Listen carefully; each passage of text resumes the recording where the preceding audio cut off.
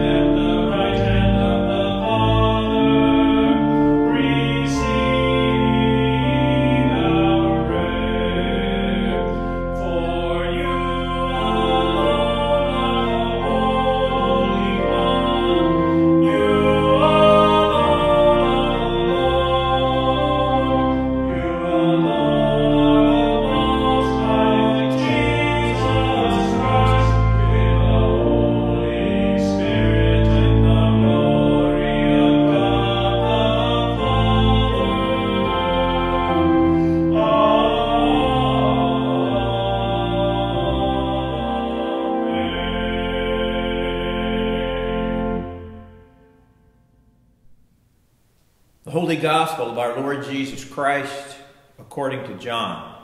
Glory to you, Lord Christ. When it was evening on that day, the first day of the week, and the doors of the house where the disciples had met were locked for fear of the Jews, Jesus came and stood among them and said, Peace be with you. After he said this, he showed them his hands and his side. Then the disciples rejoiced when they saw the Lord. Jesus said to them again, Peace be with you. As the Father has sent me, so I send you. When he had said this, he breathed on them and said to them, Receive the Holy Spirit. If you forgive the sins of any, they are forgiven them. If you retain the sins of any, they are retained. But Thomas, who was called the twin, one of the twelve, was not with them when Jesus came. So the other disciples told him, We have seen the Lord. But he said to them, Unless I see the mark of the nails in his hands, and put my finger in the mark of the nails, and my hand in his side, I will not believe. A week later, the disciples were again in the house, Thomas was with them. Although the doors were shut, Jesus came and stood among them and said, Peace be with you. Then he said to Thomas, Put your finger here and see my hands. Reach out your hand and put it in my side. Do not doubt, but believe.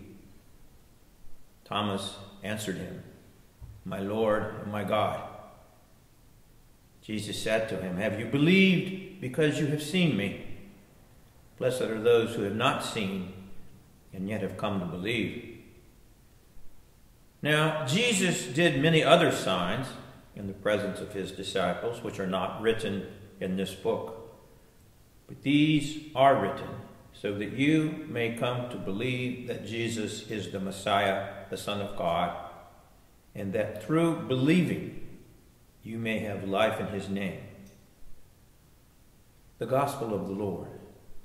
Praise to you, Lord Christ. Faith is not easy. I think we can all agree that we as people of the 21st century have some challenges with our faith. In the midst of our skeptical world, that demands proof for just about everything. Faith is somewhat inward, subjective, mystical, even mysterious. It is something impossible to get a firm grip on faith. And as a result, it can seem like the life of faith leaves you feeling like you're hanging in midair sometimes. And at the end of the day, how can we be certain about things like God and redemption and the afterlife and ultimate destiny? As the great Danish philosopher Søren Kierkegaard put it, for every proof, there is some disproof. And yet it would seem that, like the other Gospels, John's account of the resurrection attempts to do just that. In our lesson for today, we are told that the signs Jesus did are recorded here so that you may come to believe that Jesus is the Messiah, the Son of God, and that through believing you may have life in his name. Unfortunately, though, for some, that's just restating the problem, isn't it? For us as people of the 21st century, we are perhaps not moved by the signs that moved people in the first century, miraculous events. Perhaps don't command the same kind of faith in some of us as they did for the people of the ancient times. But it's not just a modern versus ancient problem. To a great extent, this problem of verification is built into our search for faith. If it's faith, We can't prove it, can we? And if we can prove it, where's the need for faith? I guess that's why many of us find our gospel lesson for today so appealing. I think we tend to resonate with the doubts of Thomas. As people of our day, we, we don't want a faith that consists of just wishful thinking. This problem gets a lot of attention when it comes to Easter and, and the resurrection. Even St. Paul recognized that if Christ has not been raised, then our proclamation has been in vain and your faith has been in vain. So it would seem that there's a lot riding on whether something actually happened on that first Easter Sunday. Somehow, if Easter was merely a symbol or a vision or a spiritual experience of some sort, and if it had no relationship with the world, then the victory we proclaim over death seems less than real. Without Easter, what is there to distinguish the death of this one Jewish man from the countless other deaths that occurred at the hands of cruel oppressors? It does seem important that our faith rests on something more than wishful thinking. But when it comes to faith, we just cannot present an airtight case that demands a verdict. It's just not the way that faith works. At the end of the day, when we approach these matters solely with our intellect and with our logic, it would seem that the doors to faith are closed. So, how do we find the faith to go out and, and live in light of the hope that God is working in the world to bring grace and mercy and peace and justice and love and joy in life to every life. Ironically, Easter gives us some help here, I think. Or perhaps we might say that the risen Christ gives us some help in some way that we simply will never be able to sufficiently explain or concretely prove. We continue to have the experience of the living Christ the same Jesus who surprised the first disciples huddled behind locked doors out of fear also surprises us behind locked doors of our doubts. Faith is not easy. The truth is, I think, that it has never been easy always. In some respects, we only find faith by having faith. It's very much like setting out on a journey with, without even knowing where you're going, like Abraham and Sarah. But the question we face is how do we who seem to be so full of doubt set out on that journey? I would say, like Thomas, that the answer is to pursue our doubts. It seems to me that genuine faith has always had helpings generous helpings of doubt. Many of us are like the father of the demon possessed boy in Mark, who brings his son to Jesus and asks for him to be healed. And he says, Lord, I believe. Help my unbelief. I think that if you are honest enough and courageous enough to face your doubts squarely, then you will wind up with a faith that works for you. I think we've all seen through the myth that if you want to have faith, you have to banish your doubts. Most of us have had the experience that pursuing our doubts proves to be the path to a deeper faith. The questions raised by our doubts can provide the guidance and the motivation to set out on our journey of faith, even when we don't understand where we're going, even when we don't know where the road will lead us. Some might think of this scripture as implying that when Jesus arrives on the scene, all doubts are cast away. But that's not the way it works with Thomas. He doubts, he questions, he disbelieves. He's not satisfied with second hand reports and wants to see for himself. And who could blame him? I mean, after all, he's been through a lot in the last few days. Thomas does come to believe. He sees Jesus for himself, and after that experience, he not only assents or consents to the witness of his comrades, but makes the most profound confession of faith about Jesus found in the New Testament. But all that comes after he has had a chance to voice his doubts. And sometimes faith is like that. It needs the freedom of questions and doubt to really spring forth and take hold. Otherwise, faith might simply be confused with uh, a repetition of creedal formulas or giving your verbal consent to the faith statements of others. But true, vigorous faith comes often from the freedom to question and wonder and doubt for many people.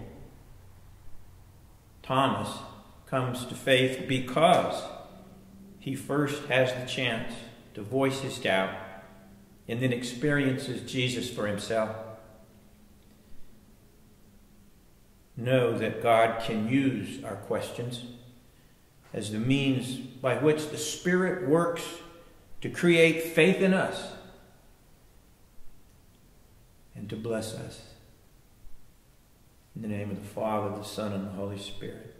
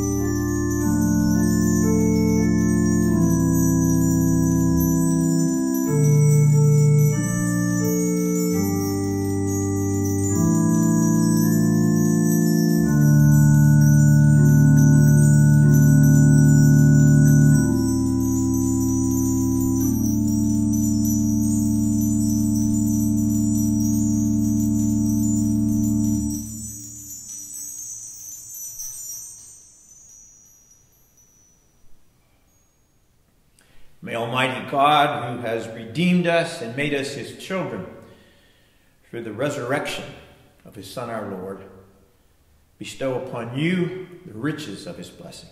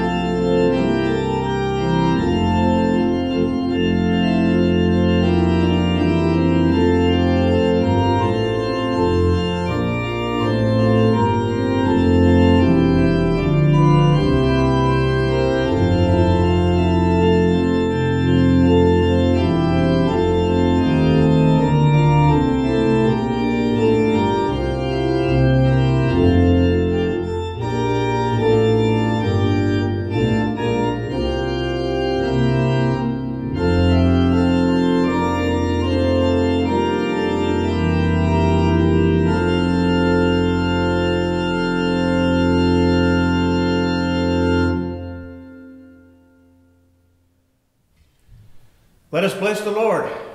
Thanks be to God. Hallelujah. Hallelujah.